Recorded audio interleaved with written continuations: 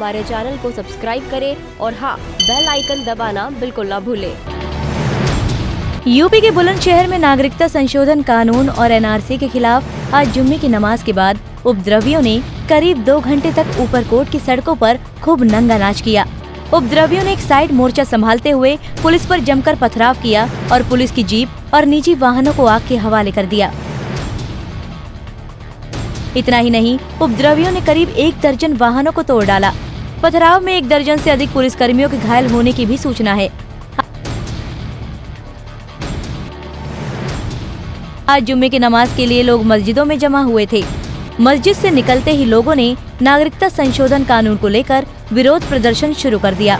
हालाँकि पुलिस और मुस्लिम उलेमाओं के समझाने पर लोग वापस चले गए।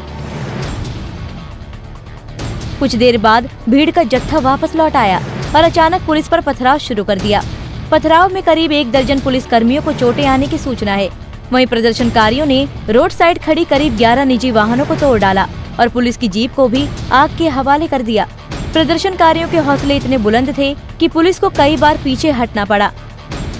हालाँकि जवाब में पुलिस ने प्रदर्शनकारियों पर हवाई फायरिंग की और आँसू गैस के गोले छोड़े। खुद एसएसपी संतोष कुमार और एसपी सिटी अतुल श्रीवास्तव ने उपद्रवियों पर आँसू गैस के गोले दागे। डीएम भी मौके पर डटे रहे। हालाँकि सड़क पर करीब दो घंटे चले प्रदर्शनकारियों के नंगे नाच के बाद पुलिस ने उपद्रवियों को खदेड़ दिया। अब स्थिति सामान्य ज़रूर है, लेकिन घटना स्थल पर अभी भी पुलिस का पहरा बरकरार है। इस मामले में पुलिस ने एफआईआर दर्ज करने की तैयारी शुरू कर दी।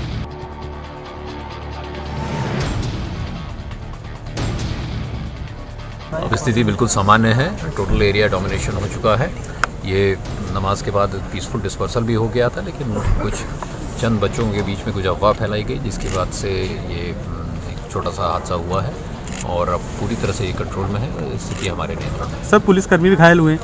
हाँ एक पुलिसकर्मी को चोट आई है। सर बताया जा रहा है कि दर्जन भर से अधिक पुलिसकर्मी पुलिसकर्मी घायल हुए हैं। जिनको पत्थर लगे सर। हाँ पत्थर से छोटी मोटी चोट आई होगी ये प्रोफेशनल हैजर्ड्स हैं जो इस तरह के प्रोफेशन में कभी कभार आते हैं। सर अभी कितने लोगों को गिरफ़्तार किया गया है सर? गिरफ्तारी की प्रक्रिया चल रही है आपको डिटेल्स डीएम और एसपी देंगे।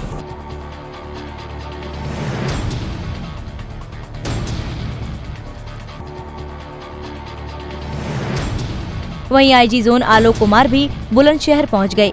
Editor in chief Iqbal Saifi के साथ Hamid Saifi time 24 news